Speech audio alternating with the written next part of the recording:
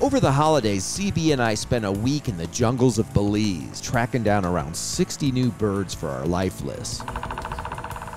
After the year long struggle to find an elegant trogon in Arizona, this was like taking candy from a baby. That is, if the baby was holding candy somewhere deep in a steaming hot jungle full of giant snakes, spiders, crocodiles, bats, mosquitoes, howler monkeys, and six foot iguanas hanging in trees that you had to hike through for hours just to get to, then yeah, it was pretty easy.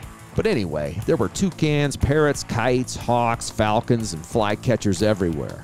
On the lagoon in the Crooked Tree Wildlife Sanctuary, we took a boat ride and saw 45 different birds in just a few hours. There were eight different types of herons alone, as well as three different types of kingfishers, including this big old ringed kingfisher. We even got our second variety of trogon on this trip, a black headed trogon, at one of the Mayan temple sites we visited. We ended up seeing over 110 species in that week, and here are some of our favorite shots.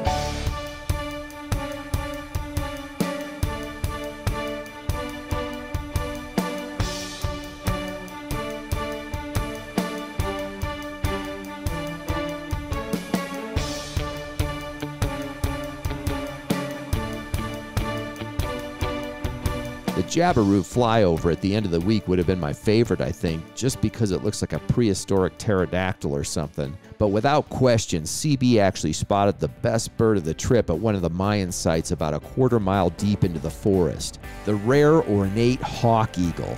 Amazingly, it hung around and let us take these pictures for five or ten minutes while a pale-billed woodpecker, upset by its presence there, threw a massive hissy fit in the same tree.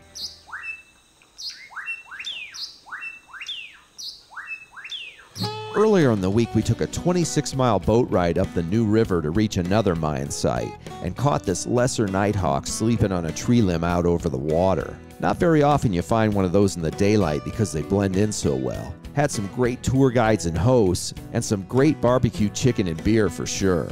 Looking forward to going back during migration someday to see the lagoon at lower levels filled with thousands of water birds. We're told it's pretty amazing, so we're putting it on the to do list. Birds ringing out.